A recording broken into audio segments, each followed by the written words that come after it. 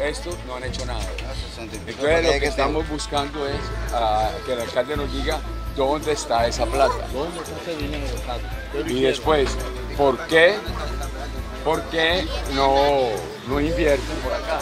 Toda la inversión es para el norte.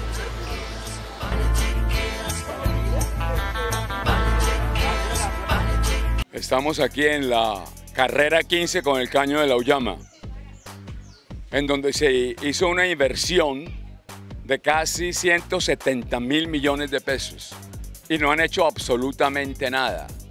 Se robaron esos millones y esos ladrones continúan libres y continúan ganándose más contratos y tienen la desvergüenza, el cinismo de hablar que por acá en estos sectores no se puede entrar porque solo hay bandido, solo hay atracador, solo hay vicioso, pero si los bandidos son ellos, los que se roban los millones de millones.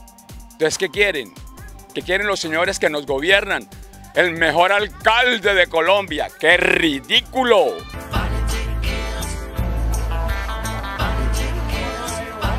El problema que venimos caucionando el arroyo de la 15 hacia el caño de la Uyama es el problema es que se nos meten. Yo soy una de las afectadas. Miren, la muralla que tengo aquí y aún así se sube el arroyo allá. Yo he perdido todos los enseres míos allá a raíz del arroyo. Los niños son afectados. El caño lo llaman, nos los echaron hacia acá. Cuando llueve, nosotros no dormimos. Si el arroyo viene de noche, cuando más tenemos que salir con nuestros niños de la casa.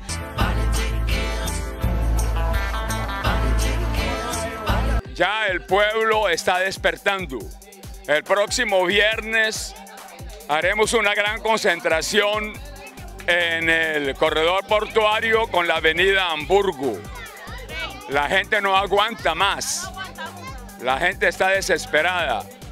Vamos a exigir que nos digan dónde están esos millones que se han robado porque por aquí no han hecho absolutamente nada. Y dejémonos del cuento de que hay barreras invisibles, que hay... Eso es mentira.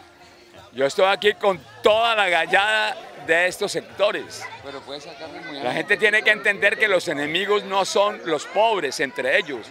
El enemigo es aquel que explota, aquel que miente, aquel que le compra los votos. Ese es el enemigo.